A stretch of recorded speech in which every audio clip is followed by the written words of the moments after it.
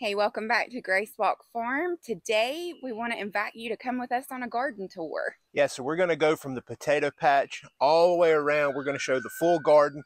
You can hear our roosters in the back. They're excited. It's been raining for the past two days, and so we finally have some sunshine. They're excited about life. We're excited about the garden. We want to show it off to you. Hope you'll stick around.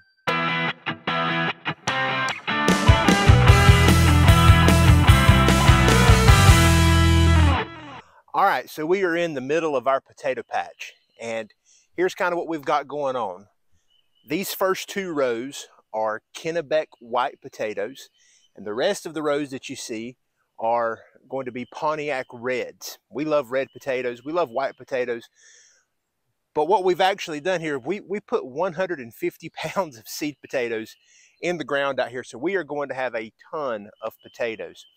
So here's a few things uh, to keep in mind. These potatoes, they look fantastic. We've gotten uh, a good bit of rain over the past two days, so uh, that's been beneficial for them as well. But you'll notice they all are leafed out very, very well. These potatoes have been in the ground for about 15 days. Uh, when we planted them, they were already beginning to sprout, so uh, they have they have jumped to life really quick. What we did is we've we've got a we started off with a trench with each each potato, uh, and then we we mounded them up, and then you'll notice in between each hill, this is a hill, here's a hill. Uh, the aisleways uh, we have filled them full of mulch. Done that for a few reasons. Number one, it looks better, uh, but the primary reason is because this is going to help cut down on overgrowth of weeds. Naked soil will not stay naked for very long. So uh, you know, right after you till your garden or you get it ready and you've planted it, it looks beautiful, but it will not stay that way long because uh, they, the weeds are going to overtake it. So what we've done is we've put uh, wood chips down in each aisle. Uh, and then after a rain like we've had for the past few days, what we like to do is come through here and make sure that the, the, the, the dirt hasn't been pushed down too hard on top of these potatoes.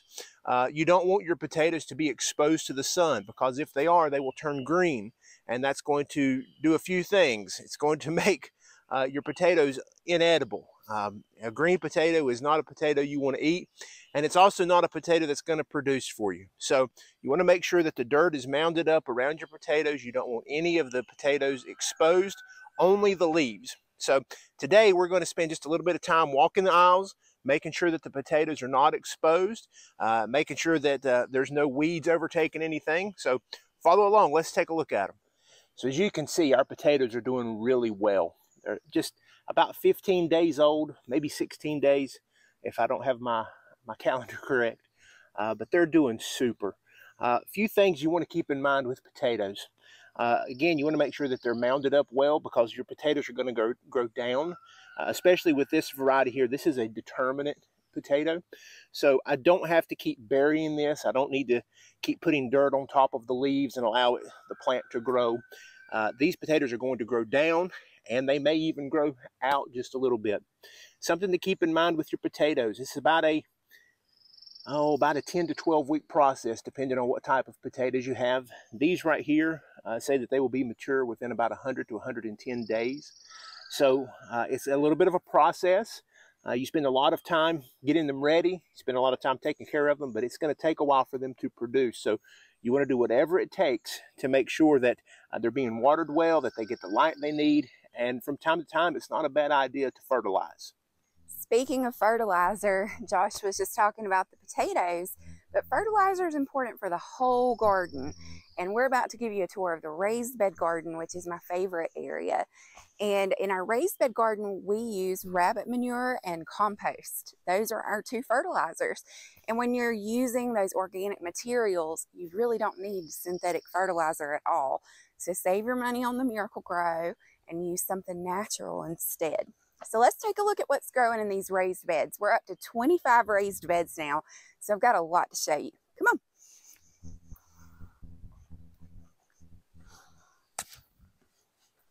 This right here is my garlic bed, and it is very weedy. It's the one bed that I've done a terrible job of weeding. You can see we've got some grass growing up in here. But our garlic is looking good. Um, you can see on the ends here, there's just a tiny bit of yellowing happening. That's because we've had a lot of rain and also because the garlic is getting close to harvest time. So we will harvest our garlic probably around mid-June. And once we see all of the stalks kind of die back and turn yellow, that's our sign that it's time to harvest the garlic. So we're just going to keep an eye on this for the next probably month or so, and then we'll have some fresh garlic. So this bed looks pretty empty right now, but it's actually just before bursting forth with new growth. So I have seeds all through this bed for summer squash. And then here on the ends, we've got some winter squash. So right here, we've got two little spaghetti squash plants. And that over there is a cream of the crop acorn squash. And the reason I put those in the corners is because both of those like to vine. And so we're going to let those vine off to the back here in the garden where it won't infringe on where we're walking. Nobody will trip or step on the vines. So my vining squash kind of goes to the side of the garden. And then here on the trellis, we've got some things planted as well. On each arch through the garden, we've got different things planted. On this particular trellis, we have planted some green beans. So we're excited for lots of green beans. It's one of our favorite parts of the summer, and this arch will soon be full of them. Let's talk about this other garden bed here in the front. Right here beside me, this bed has a ton of stuff going on, but I'm going to give you a sneak peek into what's happening. So here on this side, we have radishes. I've got Cherry Belle and French breakfast radishes, and these are actually ready. We've been harvesting these and eating on them, but I'll show you one It's a small one. Look at that. Sweet little Cherry Belle radish. So radishes are one of the fastest growing crops. They only take around three to four weeks to develop from the time you put a seed in the ground till the time you can harvest your radishes.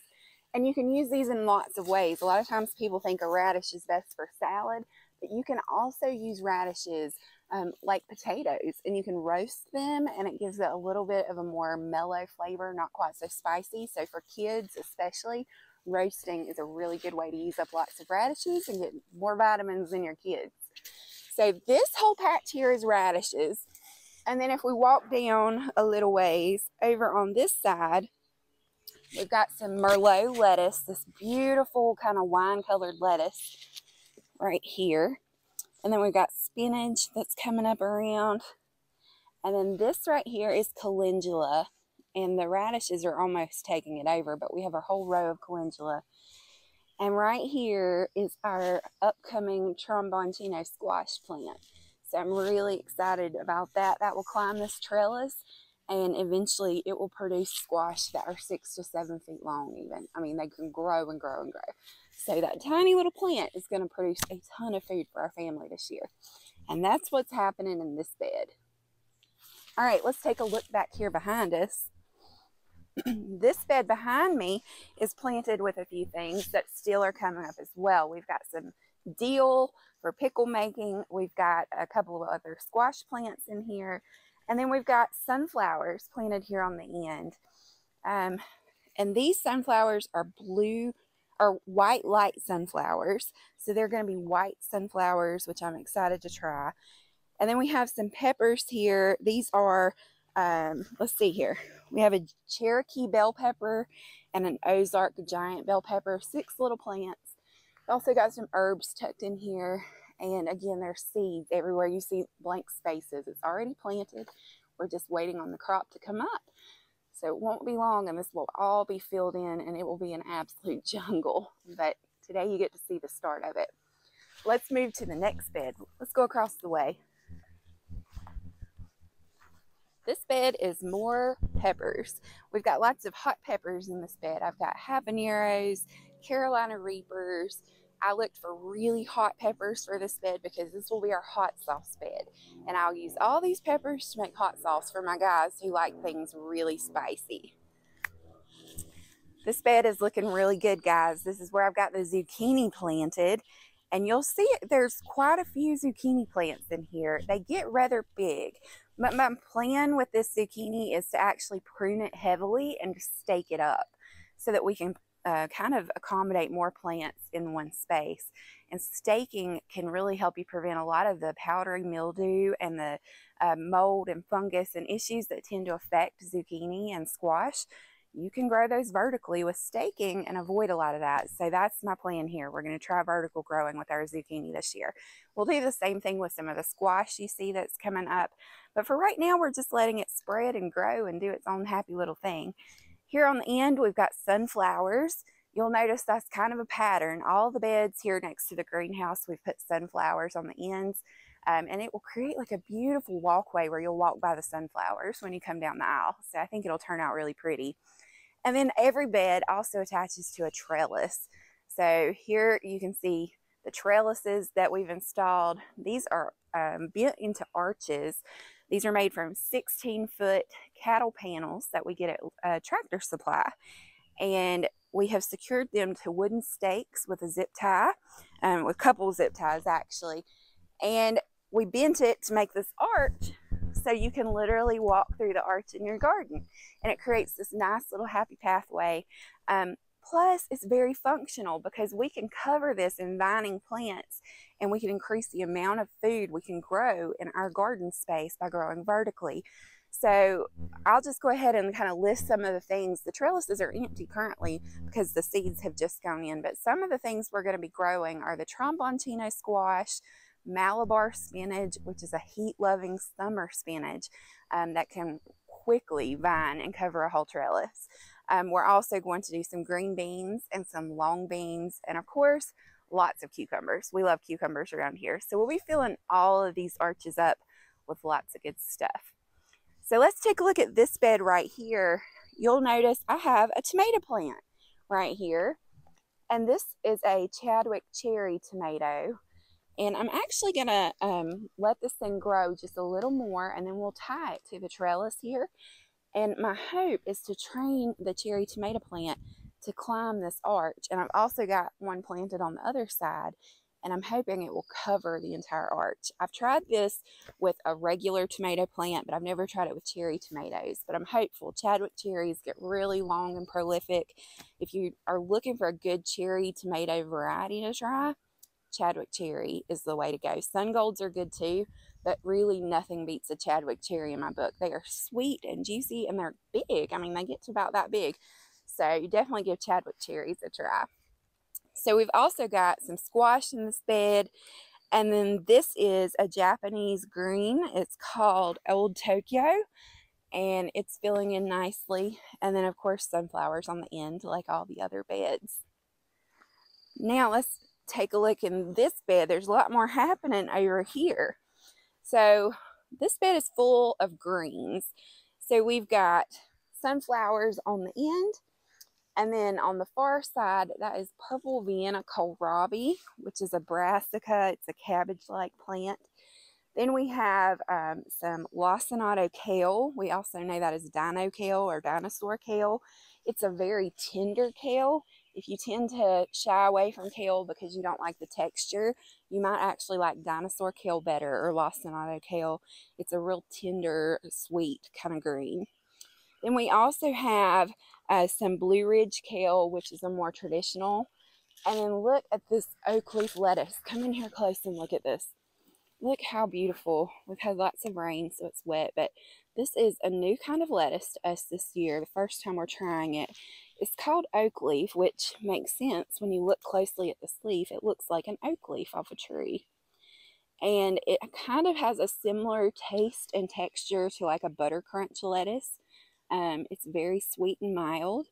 So if you're looking for a new lettuce to try, try this oak leaf. It's doing well here in our unpredictable Carolina temperatures where we have nights that are cold and days that can get up to 85. You just never know. So it's doing well. So this bed is full of greens, lots of good salads that will be coming out of this bed soon. Here is our companion planting experiment of the year. I'm trying something completely new here, and I really have high hopes for it. So here beside me, you can see I've got a couple of Vego beds, V-E-G-O. These are metal garden beds that we have um, used for about a year and we love them. But I have planted broccoli down the middle of these beds and then around the edge, I've added onions. And then if you look over on this bed, I've kind of done something similar. We have strawberries planted all through this bed and they are surrounded again by onions. So why are we putting onions everywhere? Well, for one thing, we use a lot of onions here on the farm for cooking and for canning and preserving. So it's a crop that I know we'll use a lot of. Um, but it also is a really good companion plant. So growing onions and strawberries together can actually deter a lot of the common pests that attack your strawberry plants. So in theory, it could protect your harvest if you're growing your strawberries and onions together. Same thing with the broccoli and onions. So you'll notice in my garden, I have lots of different plants paired together in different combinations. Almost every bed has at least one or two herbs in it. It's because companion planting is really kind of like the cheat sheet for organic gardening. If you don't want to use pesticides and sprays, you're really going to need to, to harness the power of uh, other plants and nature and the compounds that naturally exist in the garden and how you pair things together. And by doing that, you'll have a natural pest control um, that really works. This is our third year of organic gardening, and each year I do more and more companion planting because I've seen firsthand how really powerful it can be. So here's our little companion planting beds. Let's head back over to the other part of the garden. I've still got more raised beds to show you. All right, in this bed, I've got several different things going on, but they're mostly brassicas. Now, brassica is a family of plant. It includes things like cabbage and broccoli and cauliflower and some of those cool weather plants. Now, spring here in North Carolina is a little bit tricky when it comes to brassicas because it tends to warm up really, really quickly. We can go from freezing nights to 85 degree days just like that. And a lot of times our plants like cabbage and broccoli and Brussels sprouts, they struggle because they tend to bolt or flower when it gets hot. So we have our best success growing this particular family of plants in the fall, but that doesn't mean I'm not going to give it at least a good fighting chance for spring because we do really want some homegrown broccoli and Brussels sprouts. So here in this bed, you'll see we've got both Romanesco broccoli plants and then Brussels sprouts. And the Brussels sprouts, especially, are looking so good, you guys. I have high hopes for these that we might get a good harvest if the temperatures stay cool enough for long enough. I've also got a beautiful purple kale plant here, and of course, some rosemary in both corners. And again, rosemary is a companion plant to help repel pests. And if you look at this cabbage, this cabbage hasn't been sprayed with anything, and there's not a single bug on it. No damage that is because it's surrounded with rosemary. And rosemary and kale make really good friends in the garden. So in this bed to my left, we have some experiments happening this year. I'm growing peanuts for the first time. Never tried this before. I have no idea how well it will do here in my climate, but we're giving it a go. So I've planted peanuts and they're just starting to come up. And then I've also planted loofah to grow up this beautiful arch and cover it up. And then on this side, you'll see we've got some snap peas that are coming in. Um, and then this bed is full of carrots because peas and carrots make good companions. There we go again with companion planting, but they go really well together. So I'm growing peas and carrots in this bed, peanuts and loofah in that bed. And hopefully the loofah will cover this arch here in the next few months. All right, so this little bed is our strawberry bed. Um, we've actually multiplied this bed already this year. You've already seen one uh, that's got onions growing in it. This is where it all began. This bed started out with six strawberry plants about three years ago. So this gives you an idea of how quickly they can spread and they reproduce. You'll, if you know anything about strawberries, you know that they like to put off runners. Strawberries are going to start with a crown, um, which is main channel of the root and, and they will multiply quickly as you can see. And this particular strawberry is an everberry, uh, ever-bearing strawberry plant, which means it's going to produce really most of the year, probably 8 out of 12 months, it's going to produce strawberries. And you'll notice that it's already full of blooms. It's ready to go. It's bright green. The leaves look great. There's very little, if any, damage.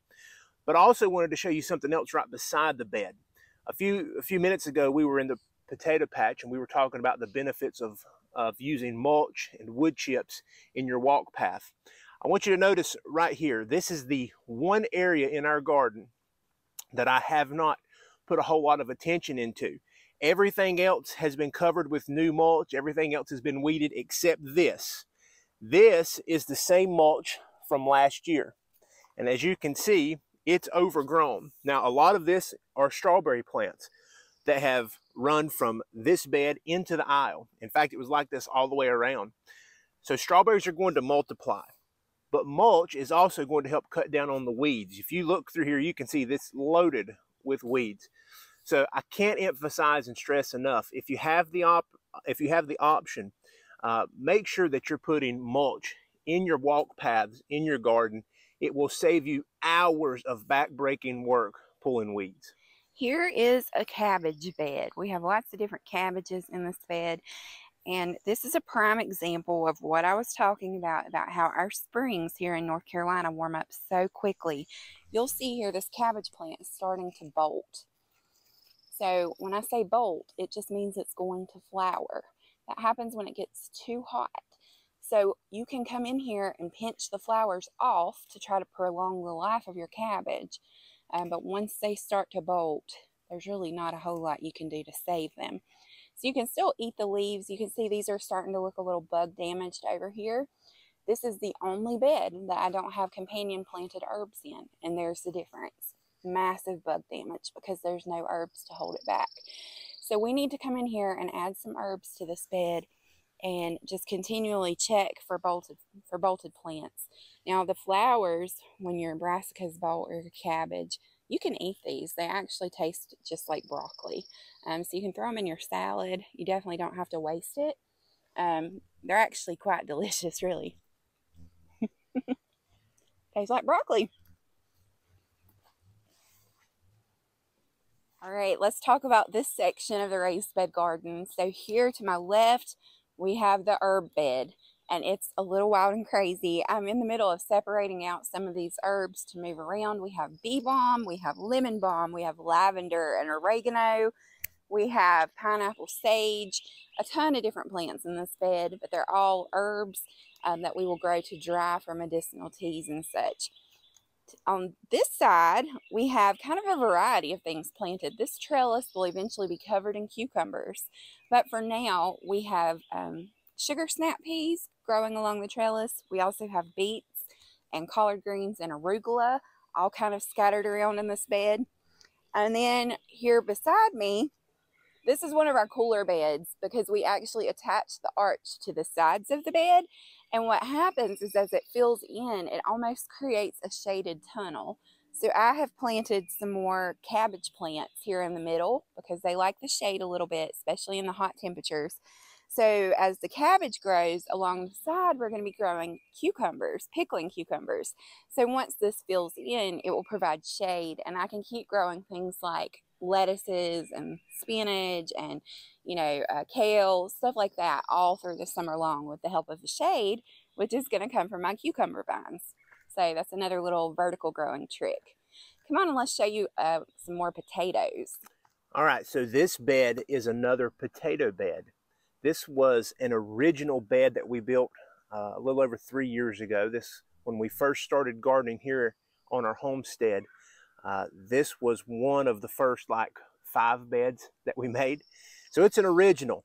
Uh, and we're growing more potatoes here. We started out here and then we had a change of plans and it's pretty funny. My mom and dad garden as well and they have a lot more land to, to grow on than we do. And so dad's actually got a huge plot of corn this year. And so we decided that since he was growing the corn, we would grow the potatoes. So after we already had this bed planted, we decided to plant the big bed that you saw uh, at the beginning of this video. So again, we've got over 150 pounds of seed potatoes in the ground. And if they do what they're supposed to do, we could end up with over 3,000 pounds of potatoes, which would be fine with us. So this bed is full of Kennebec white potatoes. And you'll notice that some of the plants look a little bigger than the ones that you saw at the beginning. For instance, this one here, there's one right down there. We did not plant these. These are volunteers. We grew potatoes in this bed last year. Didn't have the best year, um, but evidently we missed a few. because these came up on their own. These will be ready, we're hoping, uh, around second or third week of June. Um, at least that's what we've got in our mind anyway. So right now everything's looking really well. We've got a few plants that are kind of small still. There's one right here that if you if you focused in, you'll see it's pretty small. Uh, but everyone else is doing really, really well. None of our potatoes are exposed. We don't have bug damage.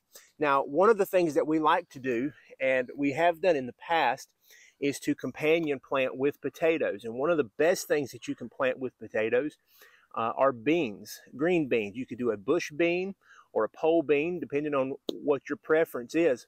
And the reasoning behind that is not so much related to bugs as it is to chemicals.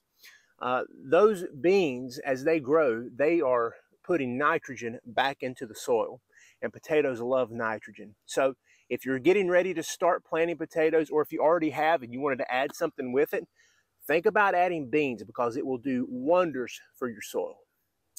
Welcome to my favorite part of the whole garden, the tomato garden. So we are growing tomatoes in a no-dig style garden and let me just show you what we got going on. We got three big rows of tomatoes here. On my left, we have a row of beefsteak tomatoes. On my right, we have a row of just assorted different big slicer tomatoes. We have homestead tomatoes, we have pineapple tomatoes, we have gold medal tomatoes, we have Cherokee purple tomatoes and black beauty tomatoes. You can't tell we like tomatoes. So we kind of spread them out and in between our tomato plants, you'll notice we've also put in some basil and there's some marigolds that are still almost too small to see. But we're creating a kind of companion planted environment here where our tomatoes will thrive with basil to repel the bugs and marigolds to trap pests like hornworms. Um, this is a companion planting situation that has worked well for us in the past and we're excited to try it again. And then we've got a third row of tomatoes over here on this side. Let's go check it out. So here on this row, we've added a whole side full of paste tomatoes. These are the tomatoes that we will use for canning for things like tomato sauce, for ketchup and salsa and enchilada sauce and tomato soup and all the things that we'll use with our homegrown tomatoes. So as you look at how these are planted, you may notice we've got some string here and there's a reason for that. So we start our trellises fairly high up because these tomato plants will get quite tall by the end of the growing season. But until they reach to the top of the trellis, we're using twine just to hold the plant up and in place and keep it from falling over in the wind. And this method works really well. And then as the plants grow, we'll just come in here and tighten this up to give them a little more a little more strength as they work their way towards being at the trellis. And once they reach this, we'll use twine or zip ties to attach the plant to the trellis itself and we'll heavily prune it. More on that soon. We're going to do a workshop on tomato pruning next month. Um, but it won't be long and we'll have fresh tomatoes. And I'm seriously more excited for this than anything else in the garden. Who doesn't love good tomatoes? And the last part of our garden tour for this month, we're going to end on the green bean wall. That's at least that's what we call it. Uh, again, we are big fans of the 16 foot cattle panel. That's what this is all the way down. Uh, I believe this is three cattle panels um, that we've set up. And what we are growing here are just regular half runner green beans. You'll notice they're already starting to come up I'm probably going to have to go back through and plant a few more. Our seeds are a little bit old uh, and we haven't quite got the germination rate that we were hoping for. But that's okay. We're still very early in the season. So early, in fact, that we can probably do three rounds of green beans before we run out of temperature that will allow us to do so. So no worries there. They're just getting started. Green beans are something that uh, it takes a little bit of time for them to get going, but once they do, they will really take off. One thing that you'll notice if you look closely here is our green bean area has a few weeds. Right there's one. So here's a tip for you. Never, ever, ever walk in your garden without picking at least one weed. Never. Why would you? if you allow the weeds to take over, it will take hours upon hours. And a lot of times it'll get so bad that you'll just throw your hands up in disgust. But when you start with a clean slate, especially at the beginning of the season, and you see a few uh, a few weeds that are growing through, just take just a moment, come through, pick them out. You want to try to get the weed, uh, the uh, the root of the weed, but just don't walk through without getting at least one. Here is our final bed, and this is one of the Vego beds, a metal bed, and it's extra long and we have filled this bed up with goodies for the pollinators, for our bees and our butterflies. You'll see lots of flowers in this bed. We have some celosia and some petunias and some pansies.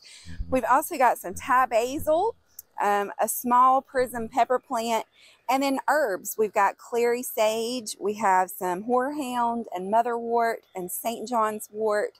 Um, lots of medicinals here real close to my kitchen so I can run out and grab them as I need them. Um, one of our goals for this year is to try, try to go a little deeper into herbalism and harvest enough herbs to make our own tinctures. So this is where that will begin. So that's our final garden bed. And I hope you enjoyed this tour of our garden. You know, spring has officially arrived. We're spending a lot of time now out here on the farm and we're excited to see where this year's harvest season takes us. Follow along, stick around because it won't be long and we're going to be teaching you how to can all this good produce together.